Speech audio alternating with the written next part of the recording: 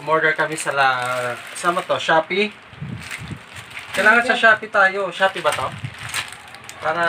Kuya Will, umorder kami sa Shopee ha. Kasi sabi mo, Shopee lang dapat orderan, di ba? Kasi bukas na sila eh, no?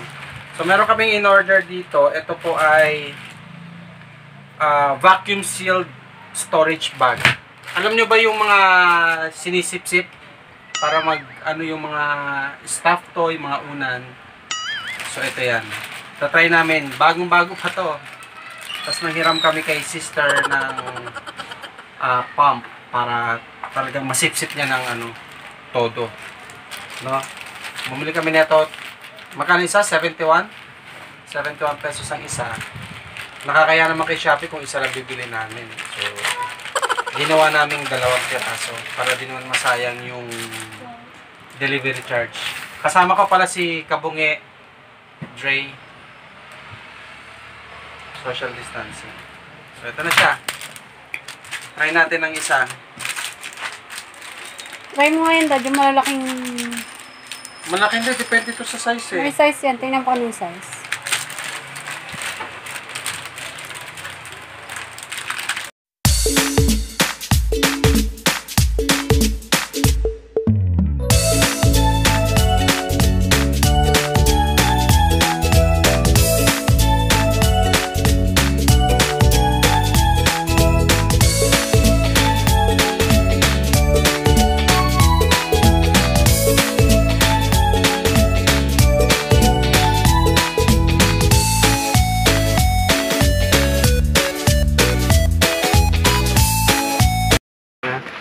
So meron din ako isa pang ano, hinalungkat, mga staff tie namin doon sa taas. Kuha mo.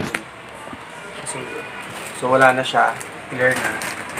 So laking ano talaga to, space saver talaga na itong plastic vacuum ito na to check. Iwas ano, mga alikabok sa mga batas. So, pinasok na namin yung isang malaking Angry Bird para spacious na rin dito sa aming malaking kwarto.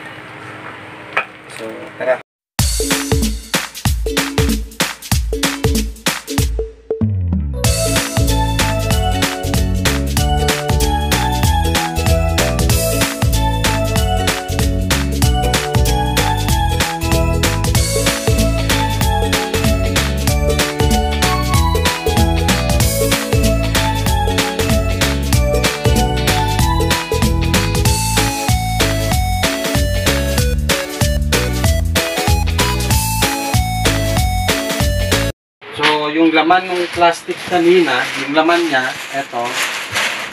Eto na siya. Yan. Ready. Ngayon, ang gagawin natin, naka-ziplock kasi siya, mga kapambang.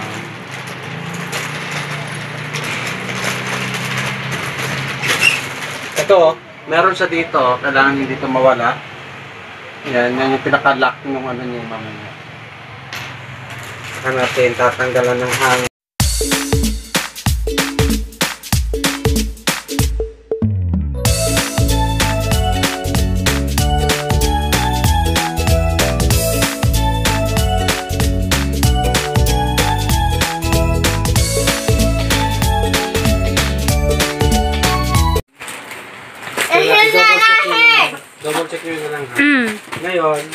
Gagamit tayo ng pump courtesy of my sister. Shout out sa team Dokolani. Eto. Wala na, susunod. Ray, saksak mo nga doon doon sa bilog. Wala namang bilog dito. May bilog. Ayan, yan, yan, yan. Okay na? So, dito natin padadaanin yung hangin. Alis yan, George! Tama. Ayan. So, gagamitan natin ng Kasha ba? Hello, baby! Yeah! Wow! unti-unti niyang unti-unti niyang tinatanggalan ng hangin sa loob. So kung mapapansin niyo, properly ano na siya, syempre, sisingaw ulit, no? Dapat nilagyan mo nun, no?